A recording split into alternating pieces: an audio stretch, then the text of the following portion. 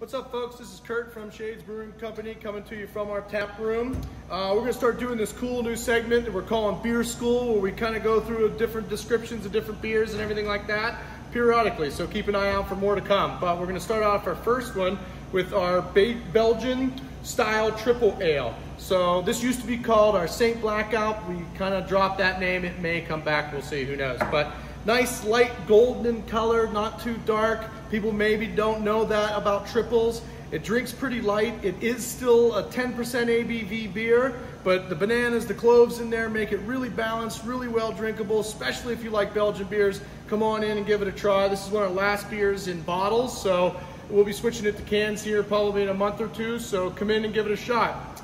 I can't drink this on camera right here, so give me one second. Oops, forgot it. Yeah, come in and give it a try.